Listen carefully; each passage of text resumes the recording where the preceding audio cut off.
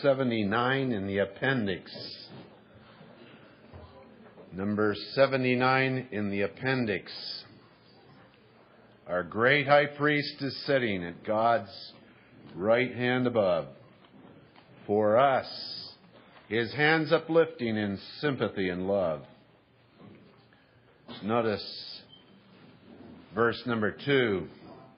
Through manifold temptations, my soul holds on her course. Christ's mighty intercession alone is her resource. My gracious high priest pleadings, who on the cross did bleed, bring down God's grace and blessing, help in each hour of need. Number 79 in the appendix. Our great high priest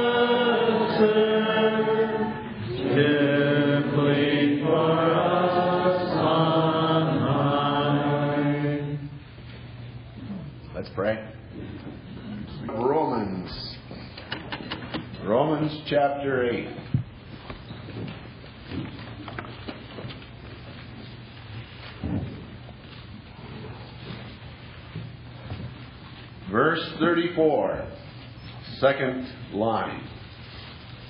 It is Christ that died, yea, rather, that is risen again, who is even at the right hand of God, who also maketh intercession for us. I'd like to speak this afternoon on Christ's intercession for us at God's right hand. You know, when I was a boy, remember, I used to, when I was sick, I lay in bed, my parents' bedroom sometimes, they had a little text. It wasn't a scripture text. It was a little six liner on the wall in front of me, and I memorized it. it says this May my last thought at night and first in the morning be of a dying Savior's love, of a risen Savior's power, of an ascended Savior's grace, and a coming Savior's glory. And it's that next to the last phrase I'd like to focus on this afternoon an ascended Savior's grace. You know what comes before me, brethren, because as we've been talking, we're living in difficult days, perilous times. It's been mentioned a number of times. Life isn't easy anyway. And I don't think we have any reason in Scripture to believe that's going to get any easier. Well, we may win some battles, might lose some too. But there is one thing for sure there is a man in the glory of God, and he is interceding our cause. And that brings to me tremendous comfort in the midst of trials that may be extremely difficult. The Lord Jesus here, it says, is interceding. He's at the right hand of God, interceding for us. And I like to think of his intercession in two different phases. He intercedes for us, first of all, as our great high priest. And he also intercedes for us as our advocate. He intercedes for us as our great high priest to help us in our weaknesses and infirmities so that we will not fall into sin. He intercedes for us as our advocate when we have fallen into sin. In either case, we need help. I often give the illustration to the Latin believers. Supposing there's a big muddy street out there, and there's this old man with that cane. He's picking his way across. It just rained, and there's big mud puddles there. And he's just teetering, tuttering, getting across, weaving through those mud puddles. Just before he falls, this young man comes up and takes his arm and helps him across. That's the Lord Jesus as our great high priest. We all have weaknesses, every one of us. And He's there at God's right hand. He knows what it means to pass through this world because He went through it too. And He's there to intercede for us because of those weaknesses and infirmities. Weaknesses and infirmities in themselves are not sin. It becomes sin when we give place to that, then it can get to the point of sin. But He is there for us as our great high priest to intercede for us so that we might not sin. But supposing before that old man gets across the street and before that young man gets to his side to help him, boom, into the mud he goes. He needs some help now? He needs even more help now. That young man gets there and helps pick him up out of that mud, pool, mud hole, and he helps him across the street. He helps him get cleaned off. That's Christ in his work for us as our advocate. And oh, we do need both, brethren. He saved us from the penalty of sins by his work on, the, on Calvary. But he is an all the way home Savior, and he's saving us every single day. He's saving us from the power of sin in this world. No, it's wonderful to realize his power, His grace, His glory that are occupied in this work of interceding for us. I'd like to go to the book of Hebrews because there we have the Lord Jesus presented as our great high priest. And I'm going to read a few verses and a few chapters that relate to this. First, in the cha- second chapter.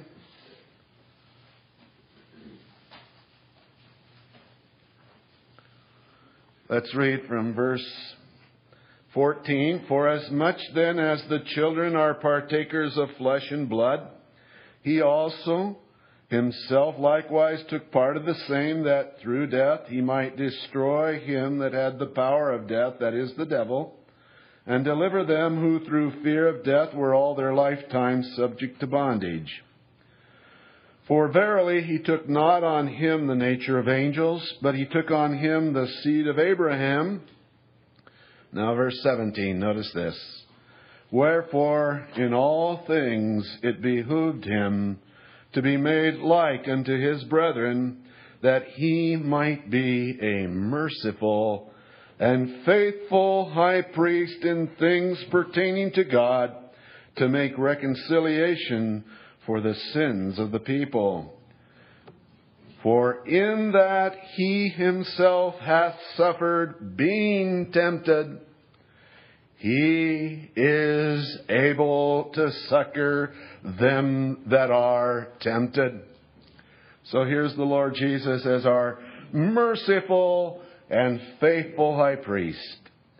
He was made like unto his brethren in all points. He was tempted without sin. There was no sin nature in him to respond to the temptations. That's the only difference between him and us. Well, I shouldn't say the only difference. We could make a lot of other points of difference, but that was the difference that we're talking about here.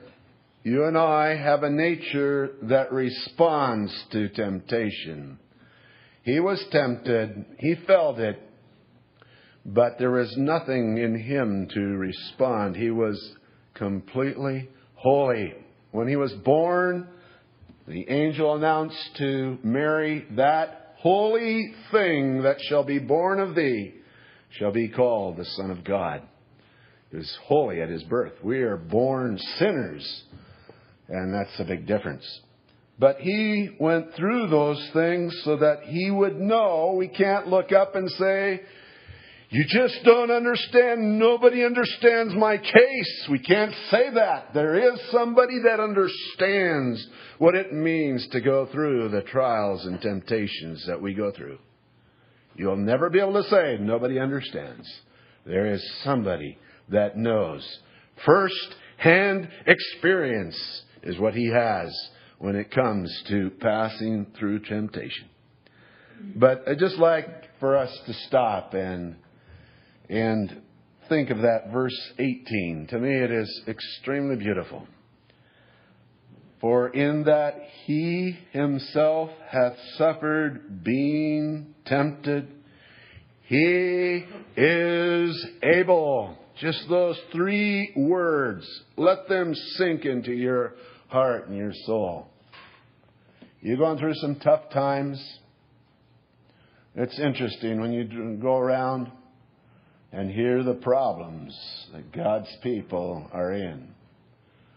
Most of the time, I have to just shake my head and I say, Man, I just don't know what even to say to you. The Lord understands, the Lord knows, and He will bring you through. But just those three words. He is able. I love the Spanish translation here. Es poderoso para socorrer a los que son tentados. It's, he is powerful to uh, save those that are tempted. So that word, he is able, is really, he is powerful. Is there a situation that he's not up to helping you in? I don't think you can say that. Think of the power that is in his hands. The whole universe he controls by the word of his power. He spoke it into existence in the beginning. My little puny problems down here in this world baffle him? Absolutely not. But he wants you and us, you and I, to prove this in our daily lives.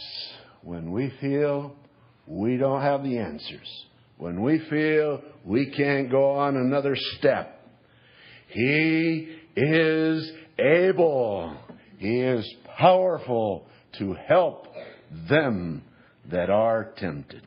I find great comfort in that. And I just ask you to let those words sink into your soul. Meditate on them. If you're tempted to give up, if you think, if you're all discouraged, think of those words. He is able. Let's go over to the fourth chapter now.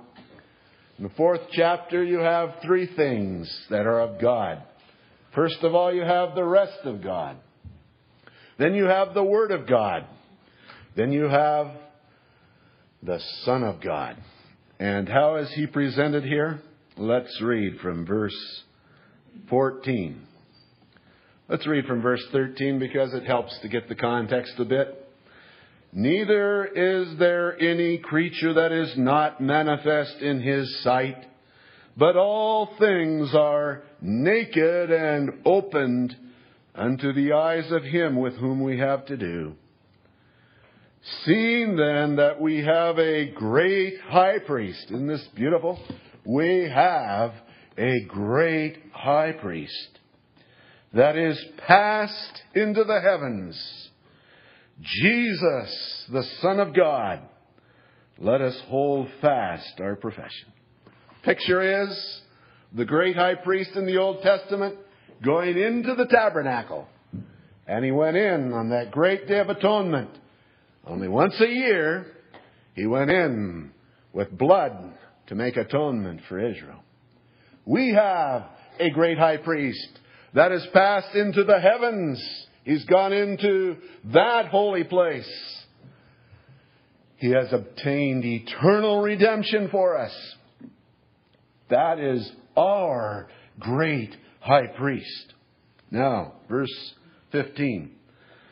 We have not an high priest which cannot be touched with the feeling of our infirmities. You notice it's using a double negative there. In other words, he can feel with us in our infirmities. Was in all points tempted, like as we are yet without sin. He is touched with the feeling of our infirmities.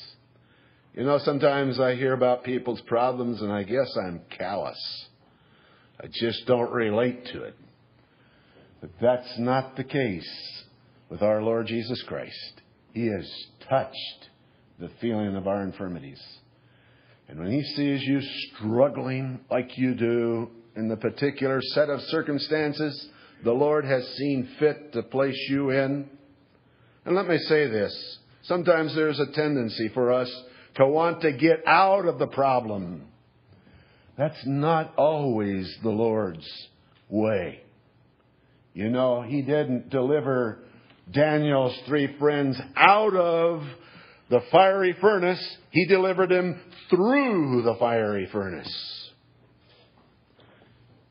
Because it was there they got to walk in company with the Son of God.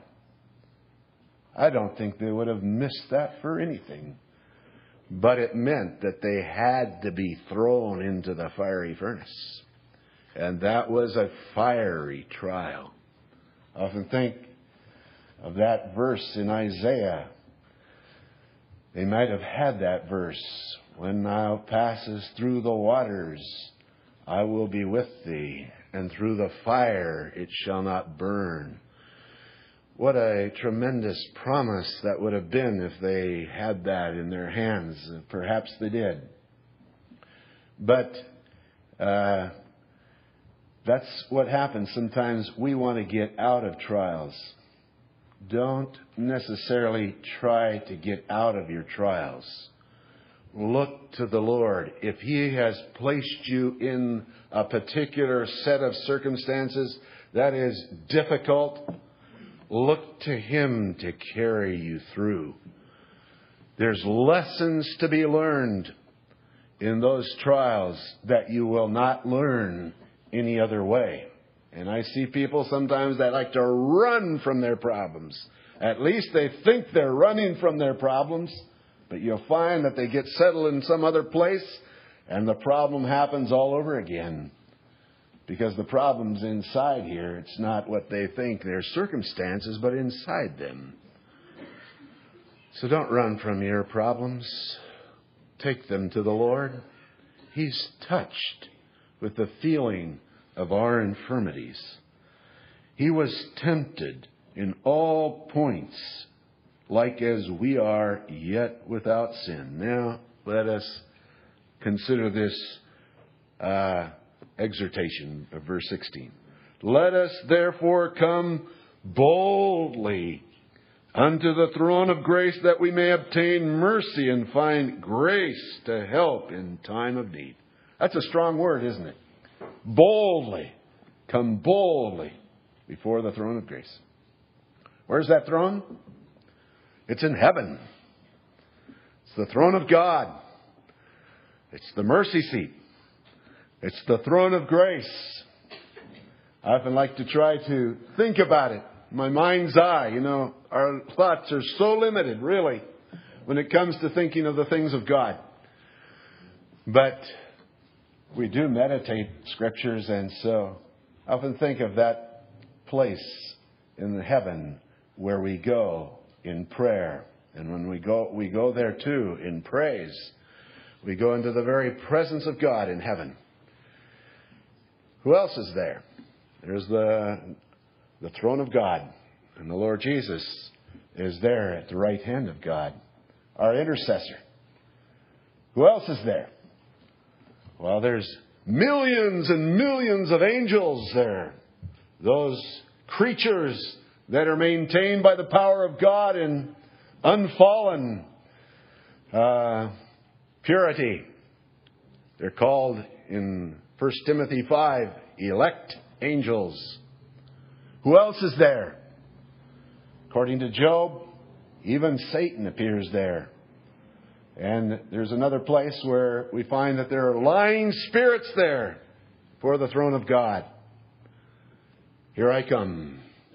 What right do I have to come there? Brethren, this to me just touches my heart to realize that I'm one of God's children. I might think I'm insignificant, but those angels, they're not redeemed like I am, and I have special privileges. We are told to come with boldness. You can't be too bold in coming to that throne of grace because Jesus is there and we are accepted in the beloved. Come boldly. You know, sometimes I think we are afraid to ask very much because we think maybe we're asking something that is maybe not right or something. But we need to ask. It says, by prayer and supplication, let your requests be made known unto God. He doesn't say He's going to give us everything we ask for. He knows what's best. But we need to tell Him everything. We need to discharge those things that are on our hearts. Because it's then that the peace of God will keep our hearts and minds through Christ Jesus. So we need to come with boldness. I remember when John F. Kennedy was in the White House, his two children were pretty young. I remember them telling one time when he was in the Oval Office doing business with heads of state, one day the office door opens and in runs some little feet and run right up to the desk of the President of the United States. Who was that? He was his little boy. He had boldness. It didn't matter who else was there. He knew he would get immediate attention because that was his daddy. And he was going to get his needs attended to. Brethren, that's our place before God. We're told to come boldly. And I just want to encourage you to practice that. You know, uh, I uh, sometimes think we limit ourselves in our requests. And I think of that story that the Lord Jesus told to encourage asking. Remember that one where a man had a friend come at night and he goes and asks his neighbor for three loaves of bread because he doesn't have anything to set before him. And the word in the King James Version says, because of his importunity. And that's a word we might not use very much in our English language. But Mr. Darby's translation uses the word because of his shamelessness. And I've enjoyed that. He will give him all that he wants. In other words, you can't be too shameless in presenting your requests to God. Be encouraged to ask. We are told to ask. Ask and you shall receive. Seek and you shall find. Knock and it shall be opened unto you. What a privilege. We can come with boldness. There's our great high priest at God's right hand. Now let's go over to the seventh chapter and verse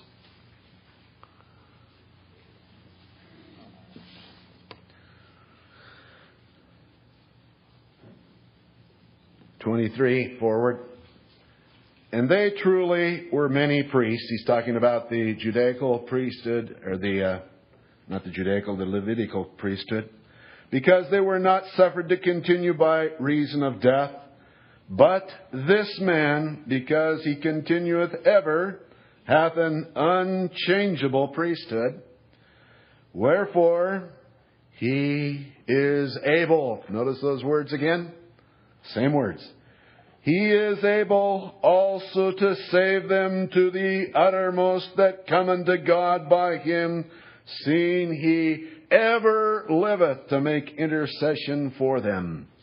For such an high priest became us, who is holy, harmless, undefiled, separate from sinners, and made higher than the heavens.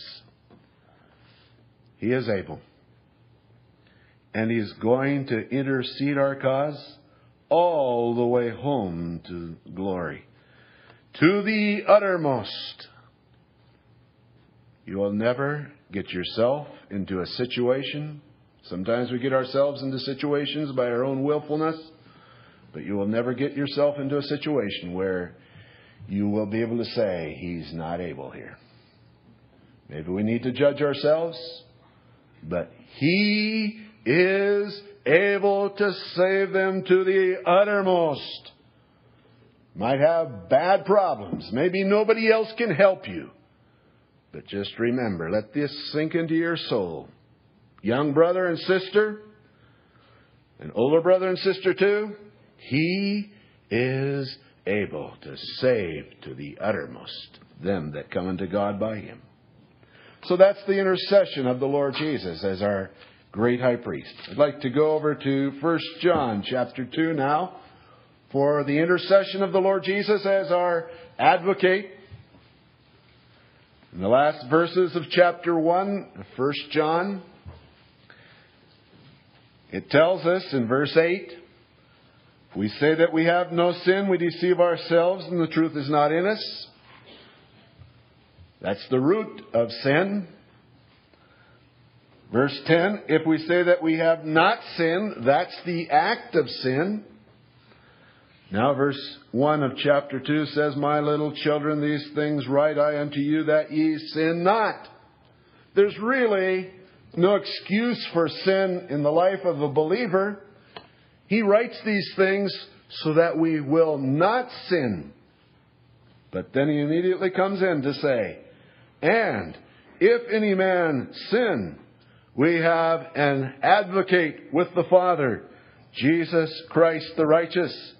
And he is the propitiation for our sins, and not for ours only, but also for the sins of the whole world.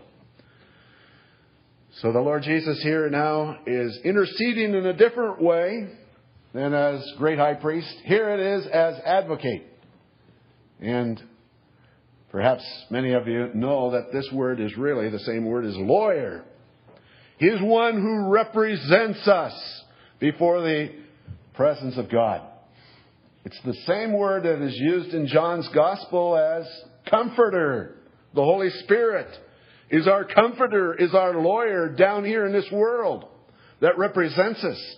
The Lord Jesus is our advocate, our comforter there in the presence of God. He represents our cause. You know, we have an enemy.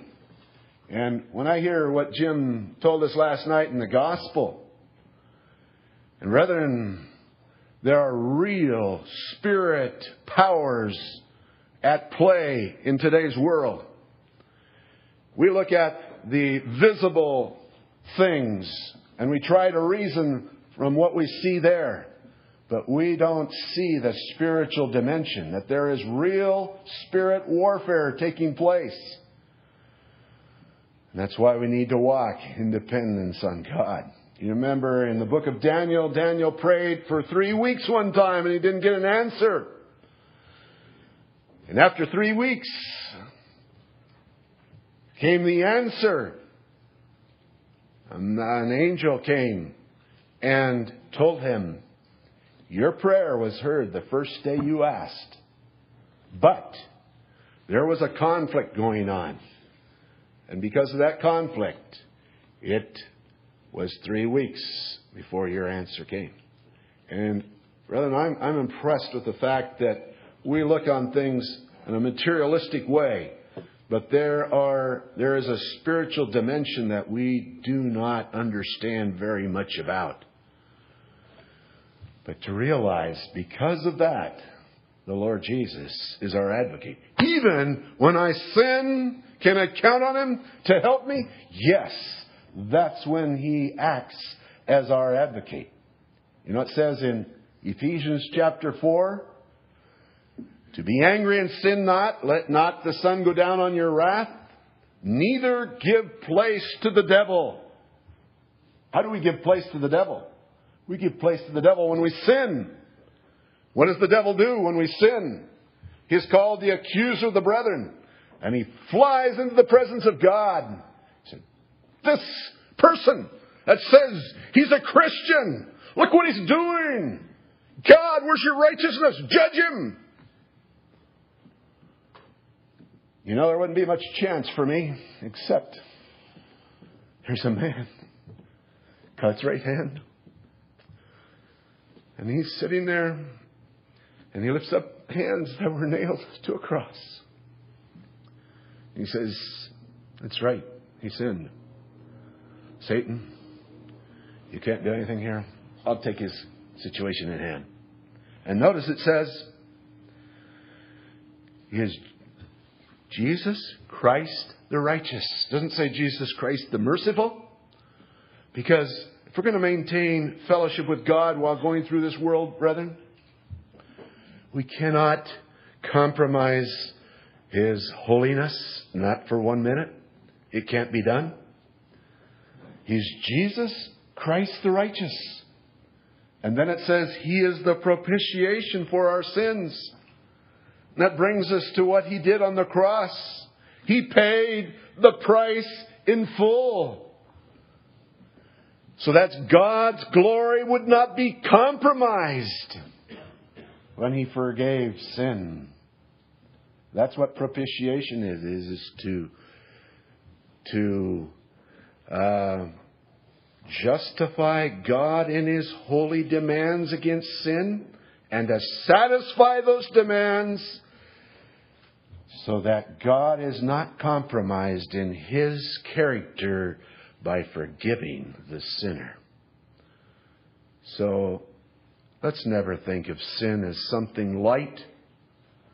It cost him terribly on that cross. We go to the cross.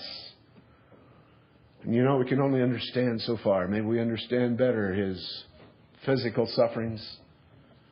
But when we look at that cross during those three hours,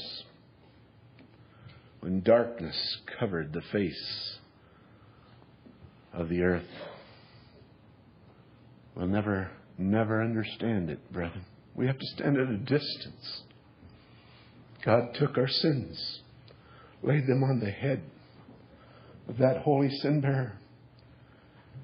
And then he let fall in all its fury the storm of judgment. And for three hours, there's no cry while he's hanging there in abject misery, going down to the very bottom. At the end of those three hours, there's a cry My God, my God, why hast thou forsaken me? We need to stand long at that cross. That's what it cost him.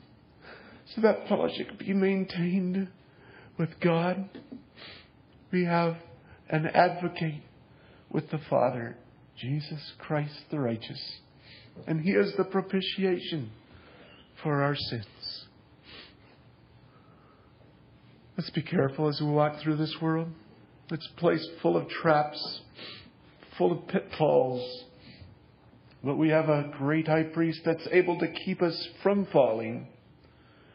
And when we do fall, he's there as our advocate to lift us up so that we can continue to walk in fellowship with him.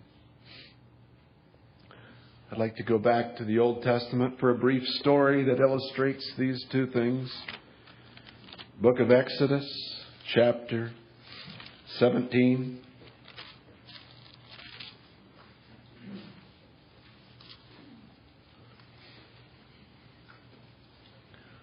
You know, they'd come out of Egypt in the previous chapters. Chapter 15, they sing the song of redemption. Chapter 16, they're in the desert. And in the desert, you need two things majorly food and water. So you have food in chapter 16 and you have water in chapter 17. The food is the manna, which speaks of Christ in his humiliation here in this world. It's what we have in the Gospels. We have the manna. And chapter 17, we have the water. Somebody has said that water itself speaks of the Word of God, but flowing water, living water, is the Holy Spirit of God. And so, in the 17th chapter, you have in the first part of the chapter water. Moses struck the rock in Horeb, and out flowed water for the people to drink. Now come down to verse 8. As soon as you get the Holy Spirit, that which is a figure of the Holy Spirit, you have then a conflict that takes place. Why? Because when the Holy Spirit dwells in me, there's the flesh as well. And the Spirit lusts against the flesh. And, or the flesh lusts against the Spirit, and the Spirit against the flesh. And these things are contrary to one another.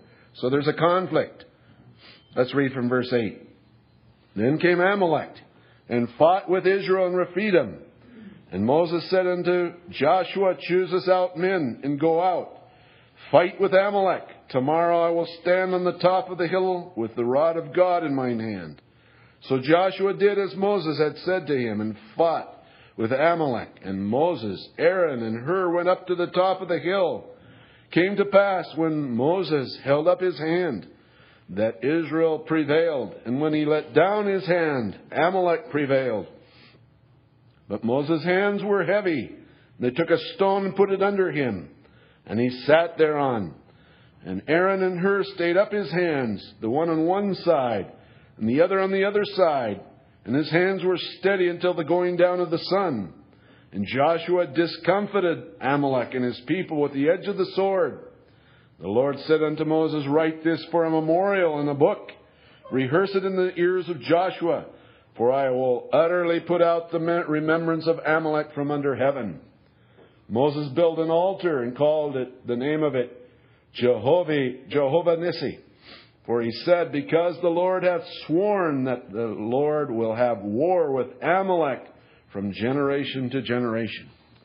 Amalek is the efforts of the enemy on the flesh in us. And there's going to be conflict.